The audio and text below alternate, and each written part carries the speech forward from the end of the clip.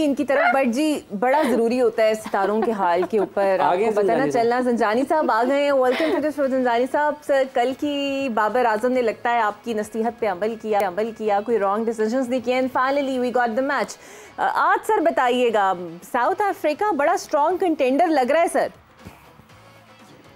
जी बहुत शुक्रिया आपका इकरा। और आज के मैच के हवाले से आ, मैं बिल्कुल ये कहना चाहूँगा कि आज है सात अक्टूबर। और सात अक्टूबर का जो नंबर है ये मंसूब है राहु के साथ।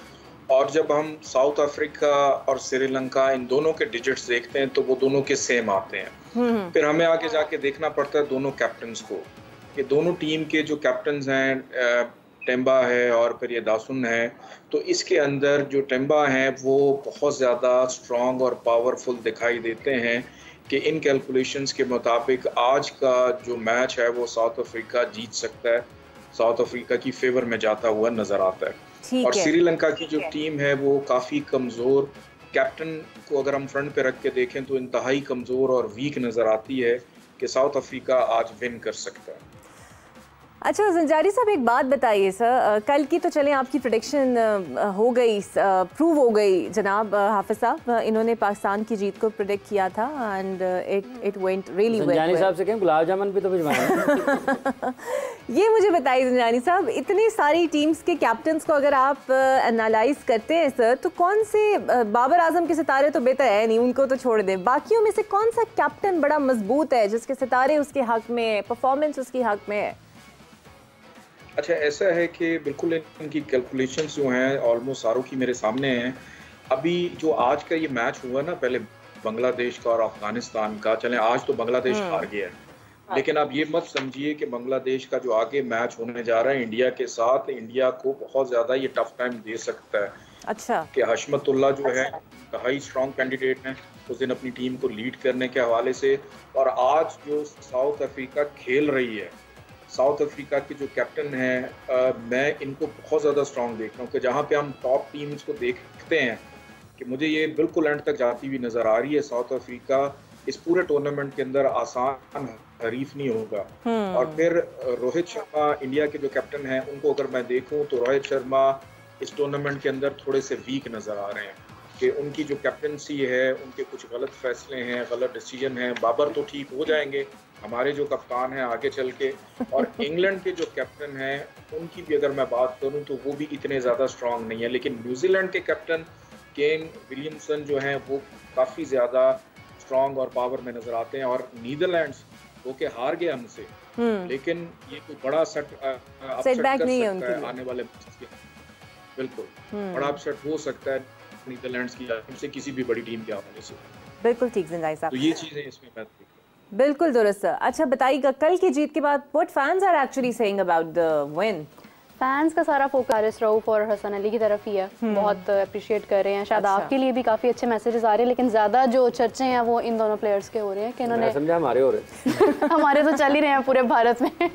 हाफिज साहब मशहूर है। अच्छा एक बड़ी इंपॉर्टेंट चीज़ मैं चाहती हूँ कि हाफिज साहब उस पर कॉमेंट करें और आप भी लाजमी करें। हम्म। बहुत ज़्यादा थ्रेटनिंग ई आपको पता है वहाँ पे मौसू हो रही हैं और कहा यह जा रहा है कि जनाब स्टेडियम को भी उड़ा देंगे और पता नहीं क्या कुछ कर देंगे। एक रैंसम अमाउंट भी मांग रहे हैं किसी दहशत गर्द की बाजियाबी के लिए भी वो लोग बात डिमांड कर रहे हैं बींग पाकिस्तानी इस बात के ऊपर तो हम मुतफ़ हैं जनाब कि जहाँ पर भी दहशत गर्दी उसे कंडेम करना चाहिए because we actually know that कि जब इस तरह के वाक़ात हों तो हमने एज अ नेशन सफ़र भी किया है और हाफिज साहब एग्री करेंगे अच्छा, कि जिस तरह बिल्कुल आपने जैसे हम्म। ज़िक्र किया है ये जो ईमेल मौसू हुआ है हाँ। उनको इस टूर्नामेंट की जो अमन अमान के हवाले से जो खदशात हैं उसमें मैं अपडेट भी करता हूँ अपने देखने वालों को एक मतलब फिर। जैसा अभी इकरा ने कहा भी है कि भारतीय पुलिस को नरेंद्र मोदी मोदी स्टेडियम को जो हम्म। बम से उड़ाने की धमकी की ईमेल मौसू हुई है जो कि बड़ी अफसोसनाक चीज़ है। हम्म। सबसे पहली बात यह है हम कंडेम करते हैं। ये बड़ी अफसोसनाक चीज़ है।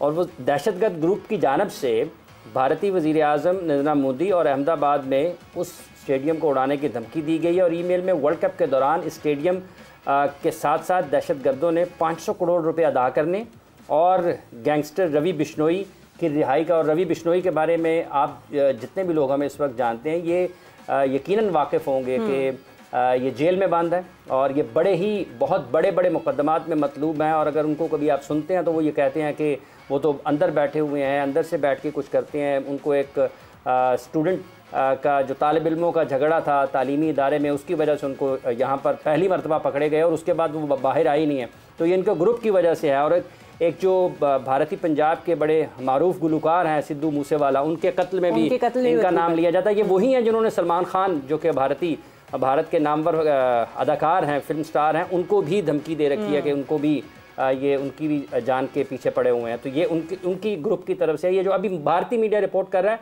ये इकरा या मैं नहीं कह रही हूँ। उसके साथ साथ जो हमले के लिए उन्होंने कहा कि हमने बंदे भी तैनात कर दिए हैं और वो उन्होंने भारतीय वज़ीर अजम को भी धमकी दी। धमकी दी ये सिर्फ़ यही नहीं है कि स्टेडियम को नरेंद्र मोदी साहब को भी धमकी है कि उनको भी उड़ा दिया जाएगा। और इसी के साथ जब आप आगे बढ़ते हैं तो उन्होंने बिल्कुल दो टोक दो टोक किस्म की धमकी है। इसमें कोई ऐसी नरमी वाली चीज़ आपको नज़र नहीं आती है।